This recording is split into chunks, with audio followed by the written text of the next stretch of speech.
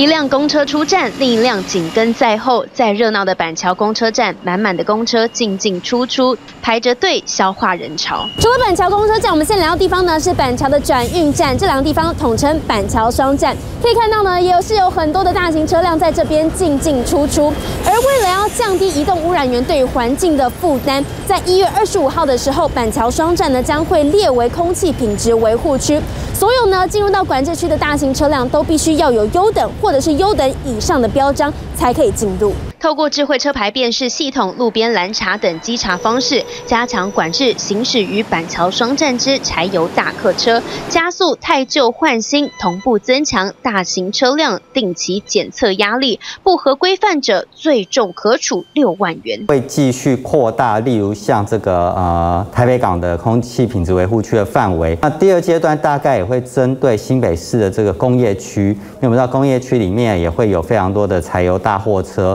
我们。我们发现到，不管在这个 PM 二点五以及氮氧化物上面，它都有呃相当一个程度的一个减量，所以我们预期在长期来看的话，它的空气品质应该会有比较好转的情况。加速着手空污棘手问题，尤其台湾八十二个乡镇市区，在过去四年的十一月至隔年二月，平均 PM 二点五最高浓度皆超过三十五微克，高于联合国标准，且全部集中在彰化县以南。而平均浓度高达四十微克以上的空品重灾区，包括了云嘉南与高平地区，原因不外乎燃烧电厂、石化业等重工业越南边越密集的程度，再加上气候。与地理条件，从分布图来看，更有一界人士直言，北台湾是空气富人区，中台湾是空气贫民区，过了彰化之后，便开始进入空气穷人区。颗粒比较大的话，事实上是可以被我们人体所过滤的哈。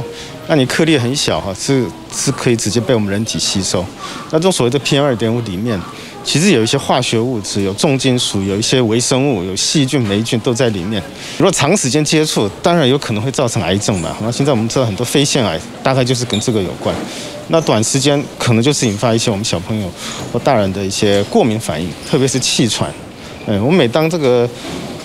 空污的情况变严重的话，哈，当然门诊的过敏的病人呢，大概会增加两到三成。细小的空气悬浮物直接穿过肺泡进入血液当中，随着血液流动散布至全身。尤其 PM 二点五早已被世卫组织与香烟并列为一级的致癌物，不只会造成死亡率低的肺癌，国内十大癌症。包含了肝癌、大肠癌、胃癌等，都与 PM 二点五脱不了关系。而心脏病、中风与气喘的发生率，也都会随着 PM 二点五浓度增高有显著上升。可能若你现在空屋品质不是很好的话。那我们尽量就是希望躲在室内，哈，待在室内，哈。那你若在家里的话，哈，我们像过去以往，我们大概就建议你装一个除湿机就好了，可能还要再准备一台空气清净机啦。减少使用化石燃燃料，其实这两个问题，无论是空污或是碳排放的问题，都可以一并的获得解决。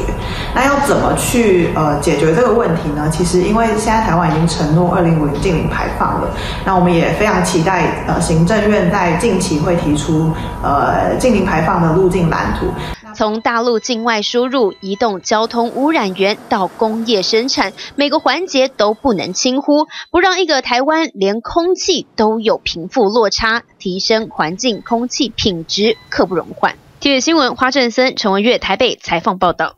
请支持一个专门报道国际新闻的全新 YouTube 频道 TVBS Plus，扩大视野，掌握趋势，请订阅并开启小铃铛。